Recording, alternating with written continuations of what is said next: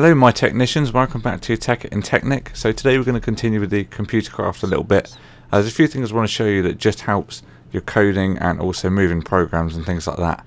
Um, so I've been playing around with this and I've reset the stuff, changed the password on it um, and the timings and stuff like that. People said to me, now how do I stop people from hacking into the computer? Because what you can do is if you need to edit this program, you hold Control and T. It will say terminated, and then you can edit the startup again, like this. So, what do you need to do to stop this? So, what you need to actually do, I would recommend backing this up first. Um, so, I've changed my password to my name. Um, what you can do is make a couple of floppy disks. Now, we need to do this with some paper and some um, redstone. Someone asked me what was on the bottom floor of the house. This is what it is. It's a sorting machine powered by blue ele electricity um, and a timer and all that kind of stuff. Um, that was quite a few episodes we did that, but that's what's down there. Um, so some paper. Uh, that's one piece. Well, I got three in my inventory. Oh yeah, of course I was going to show you before, wouldn't I? But then my video editing went a bit cack, and typing was really awful. Um, so all you need to do to do this, we'll do it over here, as we've got a bench near, is put the paper on top of redstone. Redstone on top of paper, rather. Wow.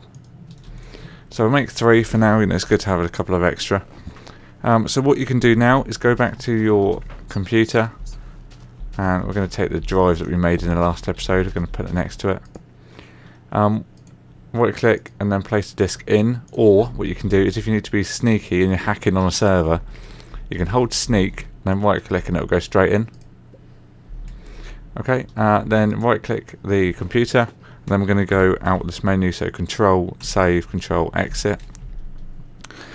Okay so now on this we're going to do copy sl uh, slash sorry disk slash startup and then we're going to we're going to like give it kind of a name. So that's what we're going to do. Copy space disk slash startup slash uh, space startup. Fail. Um, let's see if it'll work. Wow this worked when I tried it earlier. Was I using the wrong one? Yeah I was. Well done. Well done. Um, so, right, sorry about that. um, copy slash no, sorry, failure. Um, startup space disk slash startup. There you go. If it doesn't tell you anything, you know it's worked. So exit out of that. Right click your drive, and you'll see it's assigned a letter. So we've got five for this one. I've played around a little bit already, so that's why you've got you haven't got it as number one, for example. So I'm just making sure that all this stuff works before I do it.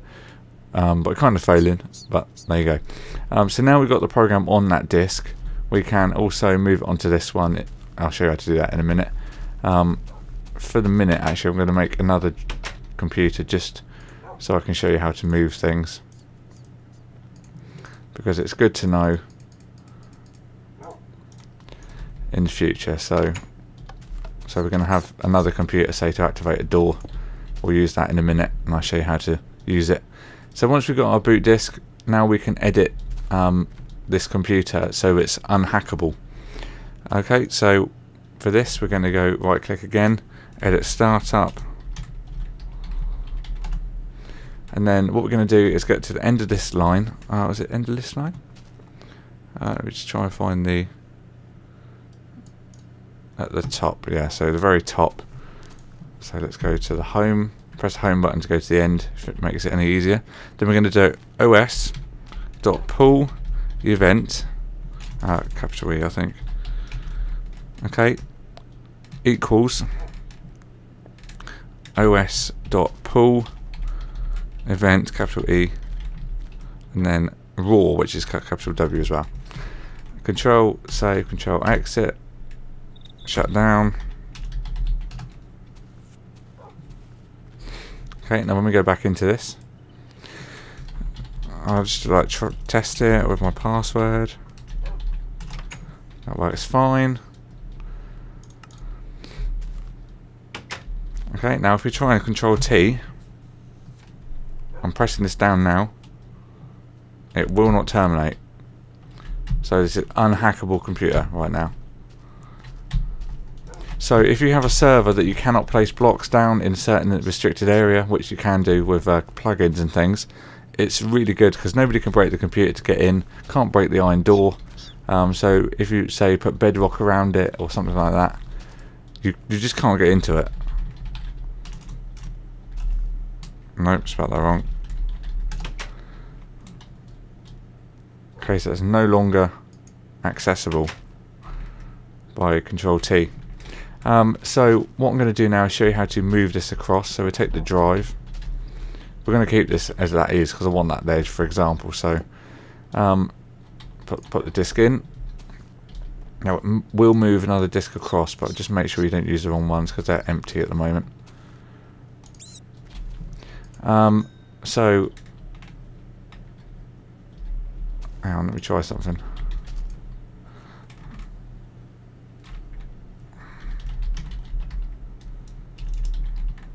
Oops. TP. So there's nothing in the startup command, but as soon as I put that um, drive down, you see I made that fresh computer a minute ago. Um, it automatically recognised it. So pop it down. Uh, so I'll just show you that you've got a clean menu at the moment. Okay, and then to copy across um, we're going to do cp disk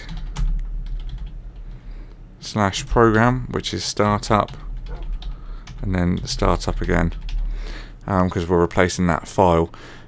When I tried this before it came up with an error. It might do it again but then after that it worked so I'm not really sure. Oh that's fine. Okay so exit out, exit out of that. Um, shut down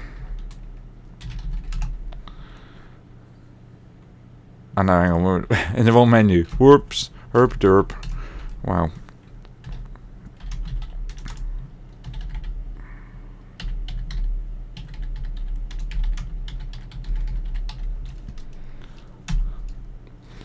File exists apparently, but there you go. So It's really hard to see what I'm typing, by the way, guys, so apologies if I spell things wrong. So now that program is loaded, redstone signal would be out if we had anything plugged into it.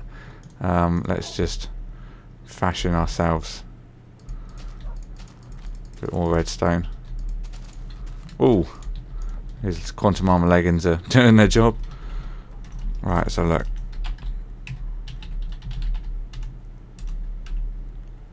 I really can't remember how much I typed.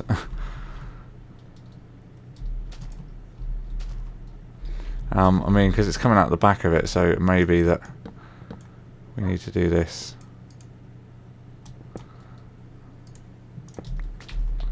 Your redstone output.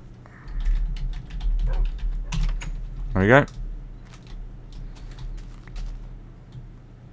Five seconds and close.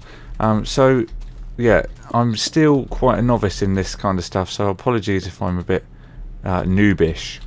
Well, I know I'm noobish for this kind of stuff, but uh, it's getting easier to understand as it goes on. So, so currently this computer can be terminated. So we can remove all this junk.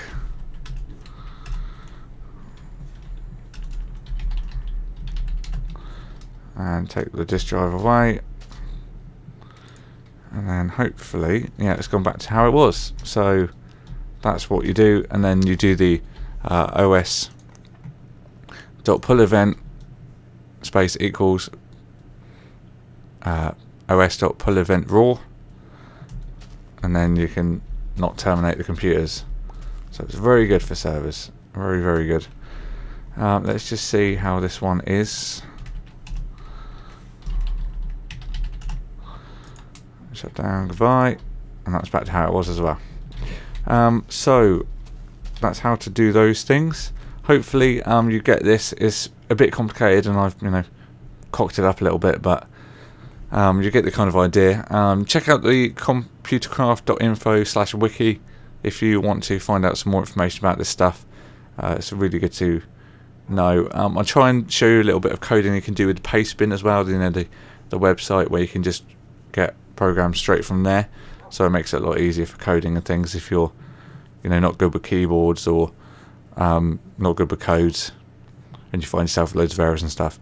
Um, so thanks for watching and I'll see you all in the next episode. We're going to look at the uh, red matter weapons that are good for mining and things. And yeah, see you all next time. Bye bye.